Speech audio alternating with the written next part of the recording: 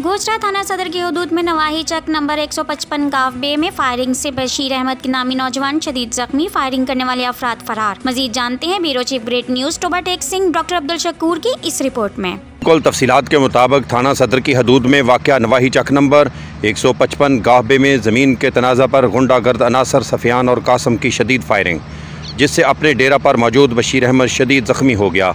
जिसको फौरी तबी इमदाद फ्राहम करने के लिए तहसील हेडकोार्टर हस्पताल मुंतकल कर दिया गया है जबकि फायरिंग करने वाले अफराद सफियान और कासम फायरिंग करते हुए फ़रार हो गए।